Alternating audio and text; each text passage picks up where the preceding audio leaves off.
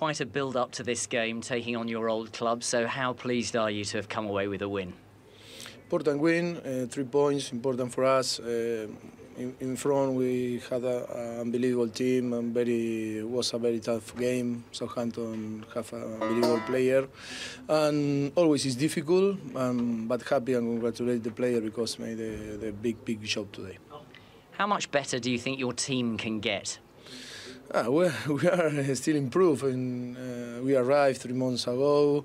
Always it's difficult to put in place a different philosophy and build something special. We are in a, in a right way, and maybe the result uh, wasn't good in the beginning, but um, I think it's not important. It's important to build something uh, a long, a long way, a long term. Sorry, but uh, I'm happy. Congratulate to the player.